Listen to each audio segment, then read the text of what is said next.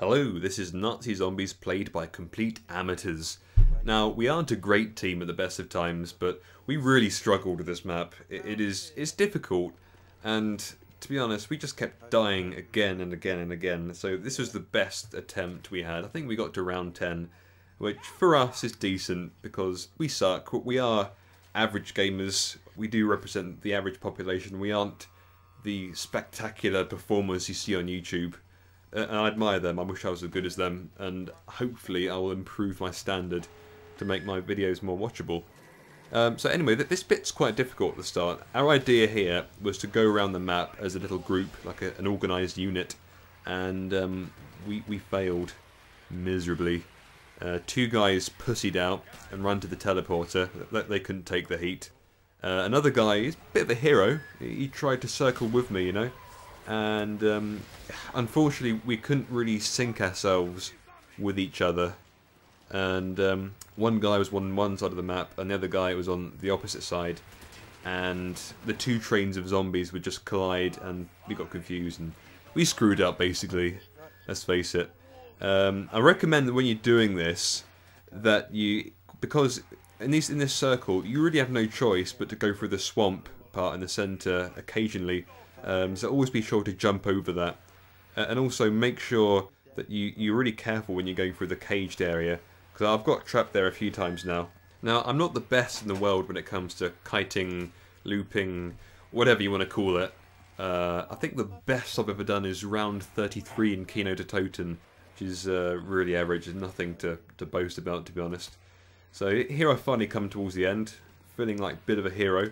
I throw some really bad nades here. I think there's one I throw outside the map because I'm determined not to kill anyone.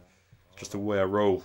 So I come through to the teleporter. Now I love the way it goes from a really noisy environment to this complete silence. I think that's a great effect. Now I think you see me here throwing some quantum entanglement devices. I love these things. I think they're a great addition to the game. I love the fact that they, they produce a random effect every time.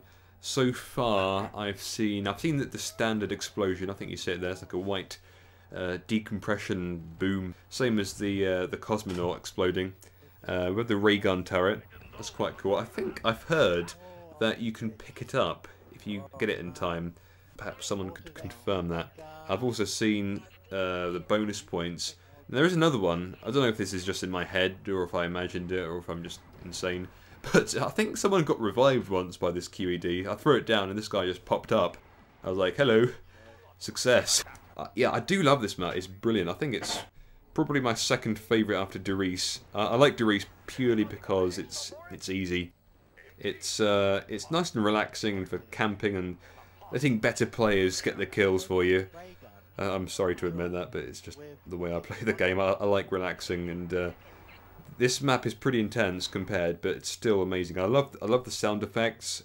I love the fact that if you shoot a zombie, they do like a little backflip and just fly off into space. that is just incredible. Um, I love the effects on this map. I always really love the uh, the effort that Treyarch puts into their zombie maps. Okay, perhaps their multiplayer isn't the best. Perhaps it doesn't stand up to Infinity Ward's efforts, but it's really it's really good fun. I love the humour and the art design and all the little secret story morsels that they've hidden in there. Really good fun. Um, I think it'd be really good if they make a standalone game for this, just you know, a pure Nazi zombies game. I think this is the opinion of a lot of people, to be honest. Now, Activision has got quite a few developers under its wing. Maybe it could use one of these to make the new zombies game. Treyarch's busy, supposedly, with Black Ops 2. Does this mean this is the end of Nazi zombies for Treyarch? I, I don't know yet. Um, hopefully not. I mean, what they did was really good. I think that's. I think they're better at making zombies than they are the standard Call of Duty game. To be honest, I think that the campaign was over the top, a bit cheesy. Uh, the multiplayer was very balanced. I like that aspect of it, but it was zombies where Treyarch really shines. I think it should be them who make this zombie game, if it ever is made. So this is the end of the game. This is where I just wimp out and run away from my team, leaving them to die because I am scum. Uh, this is the one part of this map I don't like too much, and these are the uh, the launch pads.